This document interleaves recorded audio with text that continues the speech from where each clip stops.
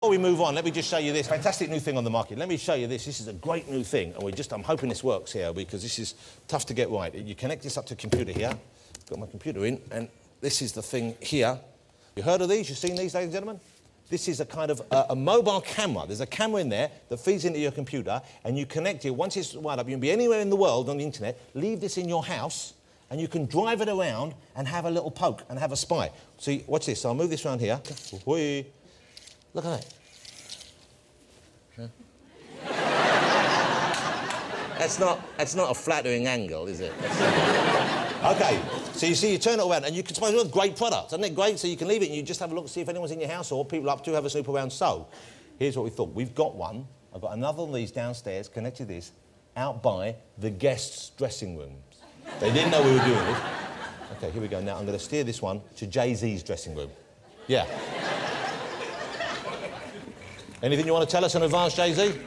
Yeah. Here we go. Let's see how this is. Couldn't be happier. Well, look at that. Really, really well, then that's what did we expect? It's business-like, it's professional. They're doing worldwide deals as we speak. Look at that. That's Jay Z's dressing room. But if we go back here, let's see what's going on in Sir David Attenborough's room. Okay. Go here. Let's see what's going on.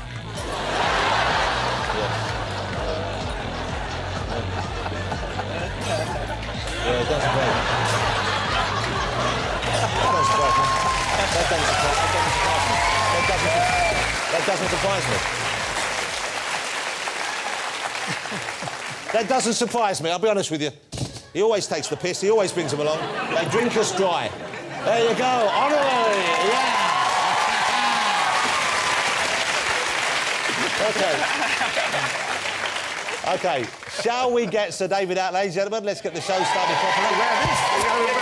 Will you please welcome Sir David Attenborough?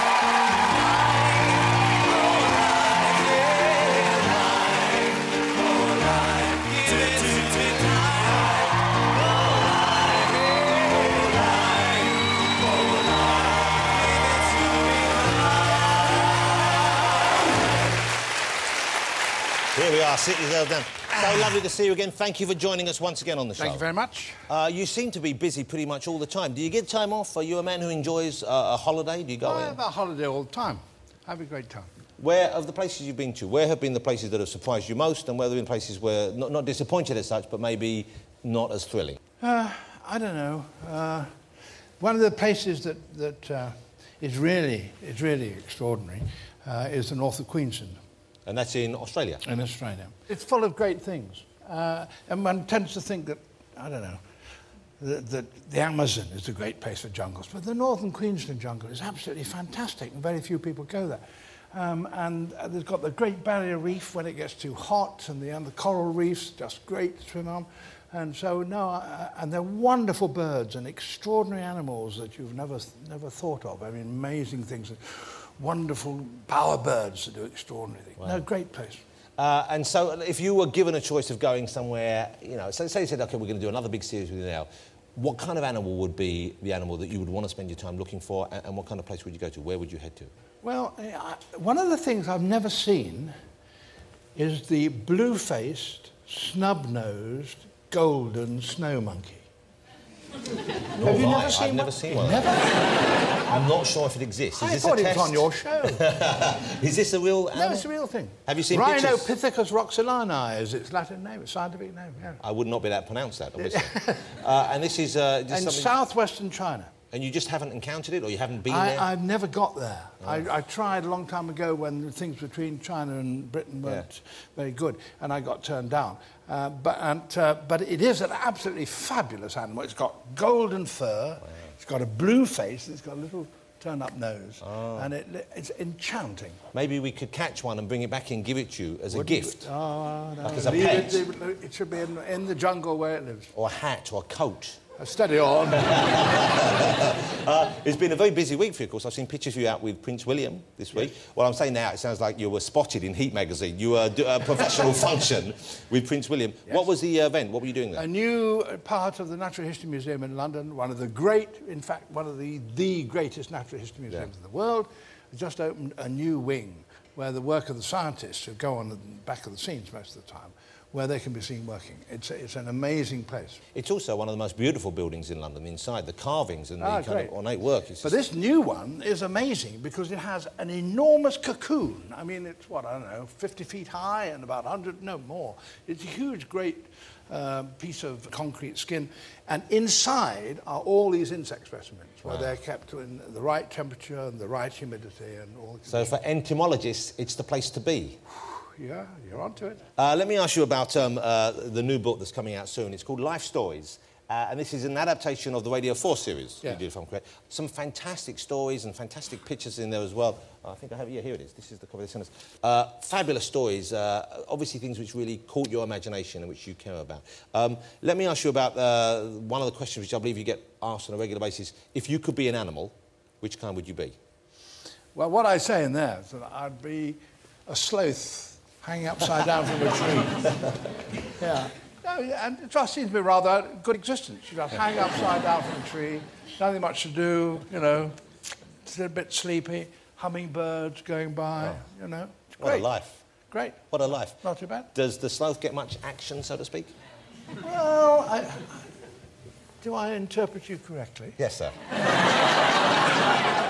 you know me so well. Well, one, I do. one of the problems, if you're a sloth, is that you can't see much. You've got very small eyes and you're half blind, really, and you can't hear much, but you can smell. You know? But so you're hanging up down in the tree, thinking about life, you know, um, and a lady sloth may pass you by, and you weren't even aware that Wouldn't she even was there. Nothing. But every, everything happens very slowly in the sloth's world. I should imagine. Every, every 10 days to 14 days, you think the time has come that you ought to visit the loo. Is that really how long they get? Yeah, that's I right. have to go twice during a movie. Really? That's my age. Yeah. But they don't do it just like that. They go to a lot of trouble. They climb all the way down the tree. It may take a day. Wow. And they get to the bottom, which is a very dangerous thing to do because there's jaguar and things on They the want to eat a sloth. But they go down to the, go down to the bottom of the tree, and there is a great pile of poo. Wow. That's what they head for. And that's where you go because that's where everybody else goes. So it's like a So meat. you like a- hang, so you hang about there, and Then when you need to go, it. you Yes, go down. You've got it, and you may say, oh. You know what I fancy? "Yeah, that's right," and that's where that you may meet a friend. So they would meet their friends around the big poo pile. Exactly. Let me ask you, Jay Z, Mr. Jay Z, if you uh, if you could be any animal, which animal would you be? Uh, lion. Lion. Okay, lion, king of the jungle. Oh, see? Makes sense. Yeah, okay. Ava. Ava. Eh, She's no, she's off in the. Oh, there she goes. She's gone off looking for a sloth to mate with.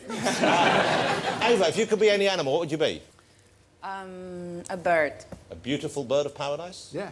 a swan. A swan. Okay, be difficult. And then Peter Andre. Peter. He's gone. He's off to the loo as well. Hold on. no. No. Don't jump in yet. Well, I think- well,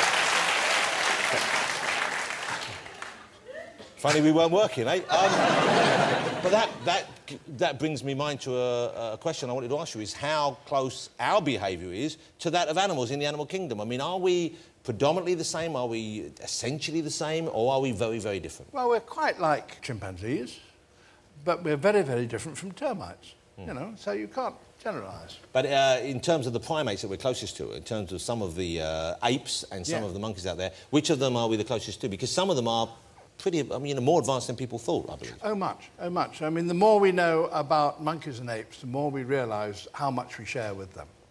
We have a clip, uh, and this is, I believe, has not been seen yet. This is a new series starting on the BBC Question. It's called Life, uh, and this is a fabulous clip. Do you know the clip? I'm- This is a, is it a capuchin monkey? I think Yes, we're about to see. yeah, in South America. And, and this is, is this behaviour that has been seen and documented before, or is this fairly I've, recent? I've filmed it. It's incredible. Let's have a look at this. Is uh, and this really will make you think. Watch this.